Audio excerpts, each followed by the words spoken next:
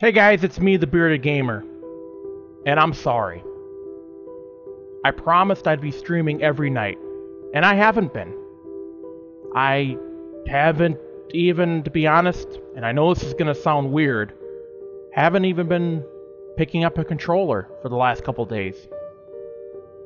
Um, and this, by any means, is no excuse, and I'm not giving excuses, but this is what's been going on. That goddamn thing called life is what's been going on. And right now it's been eh, kind of shitty. But I do know what I'm going to try to do. I will try. I, I can't make promises anymore, but I'm going to try to live stream during the weekends. That'll be Friday, Saturday, and Sunday. And occasionally on a Wednesday. Um, I need to beat this ankle.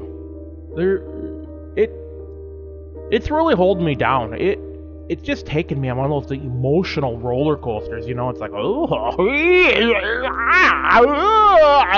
but it's not fun. Just, it isn't fun. When I come home sometimes and my ankle's the size of a football and it's throbbing in so much pain, I want to be fair to you guys. I want to enjoy to play the video games. I mean, when pain takes me out of the game, I gotta do something different. Just grit through the pain, you know. And I understand pain's every day. This this pain's pretty bad, and I'm no I'm no stranger to pain. I busted up my knee. I've had surgery. I've hurt my back. I haven't had surgery on that, but a lot of chiropractic treatments and a lot of therapy on that. So I'm no stranger to pain. Not to mention I hit my head twice as a kid. Maybe that's what's wrong with me. yeah, I'm, I'm trying to be very optimistic.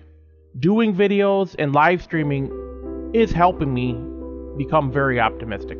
Uh, of course, um, I've been trying to lose weight. Uh, it's been it's been going very well. Uh, I haven't been gaining any weight, but now I'm kind of at that mm, you know that eh, that whole plateau thing. You know, I'm just kind of uh, uh, stuck there. It's not going down anymore. But the good news is it's not going up either. Been watching my weight. You know, I through this whole ordeal of hurting my ankle, I found out I'm diabetic. And boy, is that a life changer. You want something to change your life? Find that out, and oh, your whole eating habits change. Everything has to change, because you'll feel it. I know I was feeling like shit. Still kind of do if I eat the wrong thing. I love my coffee, though. Mm. I'm the Bearded Gamer and I will talk with you guys later. Bye.